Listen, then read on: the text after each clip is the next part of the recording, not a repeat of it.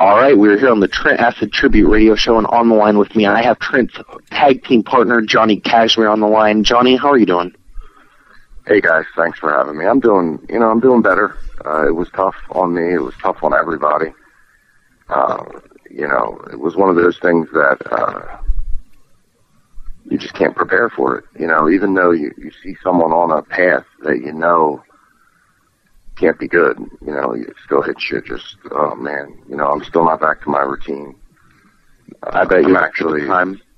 Yeah, as we speak right now, I am on the Acid Fest um, Facebook page, and I'm inviting people right now. So every time I invite people, then I invite like uh, six, seven, eight hundred people, and then something happens where uh, I forget to hit send, and then I lose it all. It happened twice already in a row. Oh. You know, I'm sending like every thirty or forty people. Yeah. So I'm going to take a take a break from this right now, so I can give you my attention. Uh, Now- I do appreciate you guys doing the show. No problem. You know, and I want to uh, take time out to thank you for coming on. My uh, first question for you is, you know, being you were around Trent for so long, what do you think Trent wants his fans to remember most for? Um, his passion. I mean, I know that's cliche, and a lot of people say the passion, the passion, the passion. It's uh, overused, more overused than you know the DDT nowadays. and I think Trent really did have that. Uh, I think I, I almost feel bad for Trent that so many people use the term passion because it waters it down, and then it doesn't mean as much when you say it for someone like Trent. But Trent was one of those guys who would go out there, and even if there was eight people in the crowd, he'd put on a great match. You know, uh, he would still work his hardest. Um, he would get more out of his opponents than anyone else would ever get out of his opponents. And what happened was people would want to work Trent. It was like there was like a line of people who wanted to work Trent. And I've heard so many people now that he's gone, oh man, I really wanted to have worked him. And and it's funny. I think to myself, you know, on the le- on a level they are being genuine, and and it's flattering. But on another level, it's it's almost selfish because they know that Trent is going to pull something out of them that they can't pull out of themselves in a match, hmm. and they wanted to work him because you grow when when that happens. You evolve as a wrestler. So people wanted to wrestle Trent because you know you learn from wrestling people better than you. I mean, you can learn from wrestling people worse than you, but it's more like a what not to do type thing. But Right. when you wrestle someone like Trent, um, you know how they say people can wrestle, some people can wrestle a broomstick, and it will be a good match. You know what I mean? Yeah. Uh, like Trent is that. You know, then people have said that he has the Shawn Michaels gift, the Shawn Michaels gene, the show stealing quality, and I think that is probably the legacy he'd want. Is is the indie Shawn Michaels is what he was. Yeah, In my was- opinion. he was definitely over. I mean, over definitely, but when I say the indie Shawn Michaels, I mean more than just fan reaction. Of course, he had the crowd reaction, um, but he was the kind of guy that would give you a main event match, no matter where he was on the show. Um, the kind of guy that you almost had to put near the end of the show because people couldn't follow his matches, is what was happening. You Wow. understand? Yeah. Yeah, no, I totally understand. When I say Shawn Michaels, I mean the show stealing gene. The ability to go out there and have match of the night with various different wrestlers. I mean, you know, Michaels had match of the night with Vader and, you know, people that were never having match of the night. Uh, Acid did that. You know, a lot of people, you say to them, what was your favorite match? Uh, they're going to tell you it was either against Trent Acid or against the Backseat Boyz. And you're going to hear that from a lot of people. Now, speaking of the Backseat Boyz, you guys have been, or you've been posting on your Facebook, uh, you know, a lot of pictures and videos of you with Trent and Trent with fans. What of those matches with Trent sticks out to you the most? probably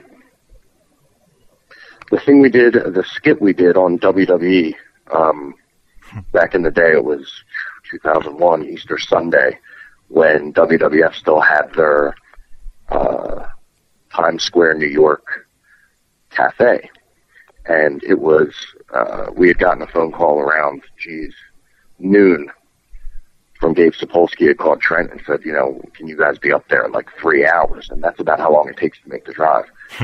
And we went up there and they had us uh, be the backseat Dudleys.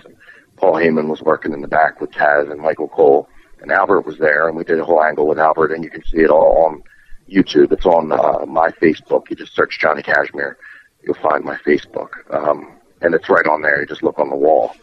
But I think that, and probably our matches against Ric Blade and Nick Mondo and CZW. Um, CZW was still a, a new company, future uncertain, and they had the hardcore edge, uh, but they didn't have the wrestling. And when me and Trent wrestled Blade and Mondo in our series of matches, suddenly CZW had the wrestling, and it brought us a whole new volume of fans, a whole new, uh, a whole new uh, like tier of of fans showed up. Now, now you had the hardcore fans, and you had the smart marks and that that's really what what CZW relied on back in the day. And it was matches like me and Trent versus Blade and Mondo that really set the stage and the foundation. It was like, okay, locker room, top that. Hmm. so then it was like next month, everyone tried to top it, and if someone did, then it was okay, great. Now we have to top that next month, and that's really the game we played for for years. Now, if you were to write a book about Trent's life, what would the title be? Oh my goodness. Um, title of the book about Trent's life would be, um, I mean, I guess, I guess Sinatra has "I Did It My Way," so we couldn't do that. But it would have to be something like that. It would have to be something like, uh, you know, uh, I don't know, jumping, humping, and you know, pumping the Trent Acid story or something. You know. I don't know. It would have to be something along the lines of uh, it would have to capture his larger than life personality, uh, his his sense of humor. Uh, definitely a ladies' man. To uh, to put into perspective for you how much of a ladies' man he is. You know, the, the average guy on the street might be out, you know, fishing with a fishing pole uh, while Trent's in the boat. You know, with his arms open and the fish are just jumping into the boat. you I mean, that's that's the difference. You know. So something that encompasses all that, plus his wrestling, I'd have to think about that. That's the kind of thing that if I was writing his biography, that would probably take me eight or nine months to come up with the answer, and I would probably be woken out of a sound sleep a few times with ideas, and that would be a big thing. I'd, I'd obsess on that. Now, my co-host uh, missionary has a couple questions for you. So, missionary, go ahead. Yeah, hey Johnny. I wanted to know, um, In your opinion, what was Trent Acid's crowning achievement in his career? Well, I guess his crowning achievement in his career was when he had the Big Japan Junior Heavyweight title, and uh, he had won it. Uh, well, he actually, let me think here, how did this go? Him and I had a match in, uh, it wasn't Korakuen Hall, it was Yokohama Arena in Japan. Mm-hmm. It was me and him against Men's Teioh and Jun Kasai. Me and him won the tag belts in that match and the junior belts. I became Big Japan Junior Champion. He became CZW Junior Champion. And then I lost the belt to Ruckus. Ruckus lost the belt to Trent. Trent ends up in America defending that title. So I think his being the Big Japan Junior Heavyweight Champion and having the belt and having it in America for as long as he did um, I think that was probably his crowning achievement. Is is off the top of my head, as as well as he he had a dark match in right. WWE. So those two things. Um, what do you think Trent's biggest goal in life was?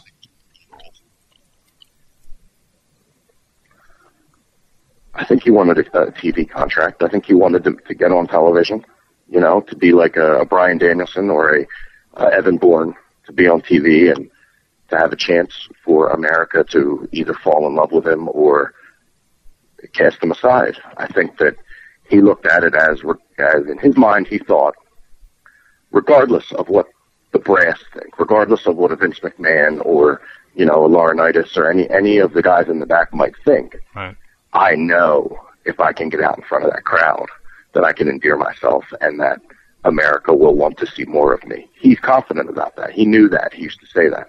And I think that if he would have been given that opportunity, and I'm not saying I fault WWE, and there was no conspiracy. It, you know, we never reached out. uh, you know, everyone that got signed sent something to the Fed. They did something. I mean, we we just expected, oh, we'll just be good enough, and we'll just shine bright enough that they can't ignore us. And it doesn't work that way, you know. Yeah. So had we reached out to the Fed back then, do I think we would have got something? Yeah, I think we would have. I think we could have had developmental, or we could have at least had uh, more dark matches at the very least. Right. Um, if it wasn't for you know Rob Feinstein and Gabe Sapolsky having the connection and just saying like, well, let's send Johnny and Trent. You know, we know they'll make us look good. If it wasn't for that, we wouldn't have even had what we had. It was their whim, so to speak. I got You you. know, if they had just got off, if they had just got off the phone with a different wrestler and that person was on their mind, they may have given it to them. But we were on their mind at that time, and they gave it to us, and we've always been thankful and appreciative for that. Now, um, who was Trent Acid's hero and inspiration in life? I guess Eddie Vedder. It's funny, Trent always was a big Pearl Jam fan, huge Pearl Jam fan.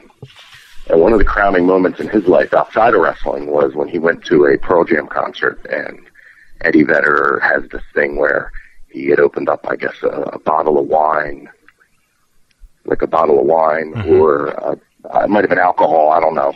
And he let Trent drink it, like pulled Trent. I don't know if he pulled him up on the stage or if he just sort of bent down and let Trent take a swig and handed him the bottle, and Trent handed it back, and I guess they got the high five. And you know, Trent said he couldn't sleep that night. It was you know the biggest night of his life, and I know Nick Burke was there in the audience to see it, Hmm. and uh, I know that was big. And, and it's funny because I always sort of modeled my look after Chris Cornell from Soundgarden, and he kind of always modeled his look, he being Trent, after Eddie Vedder. And Eddie Vedder and Chris Cornell used to be Temple of the Dog. They broke up, and they each had one of the most successful bands of all times. Right. So I'm kind of hoping that you know the Backseat Boyz have now spawned Vanilla Man Candy, which is a tribute. It's, it's a tribute band to the Backseat Boyz, is what it is. It's a, it is, it's its own entity. Don't get me wrong, uh, but it's also uh, a tribute to Trent Acid, and it's myself and Matt Walsh, and we're going to add a few more members. Um, well, I mean, me and me and, and Walsh are Vanilla Man Candy, but we're going to add a few more members that when we're all together, we're kind of like you know Acid Angels or Acid Avengers or whatever. I'm sure we won't think of we'll think of something less lame, but you know what I mean. Um, but we're going to try to get a stable together to honor Trent um, with his students and you know people that he helped in the business, so that he can sort of uh, his name can live on. You know what I mean? Like his grandkids in the business, so to speak, or Right. kids. People inspired by him. Yeah, exactly. What's the one thing about Trent or Michael Verdi you'll miss? the one thing. Uh, me and him both had very messed up sleep schedules our whole life, and I, he was the one person that I knew if I woke up and it was three in the morning, I could call him. If I woke up and it was seven in the morning, I could call him. And even if he wasn't awake, he would just say, "Yeah, oh, oh yeah, I was awake, I was awake," and he'll pretend he was, and you could still talk. You know, he, he just never slept. And I mean, he slept, but not the way like I might sleep, you know, nine hours at a time. He would sleep five hours here, four hours there, maybe. You know, it's different. Right. So I miss that about him. Uh, his laugh. You know, he lit up a room when he laughed. If you didn't know him, you, who was that kid with that laugh? And you, know, you couldn't hate him. Uh, No one hated him. There was no one that that felt like they were his acquaintance. Everyone is either his friend or they didn't know him at all. But I, I've never heard anyone say I don't like Trent or I dislike him or I hate him. I've never heard that come out of people's mouths Right. which is interesting because you know he's as Italian as I am, and he can be as spiteful and as stubborn as I can, and he just doesn't have the the rub people the wrong way gene.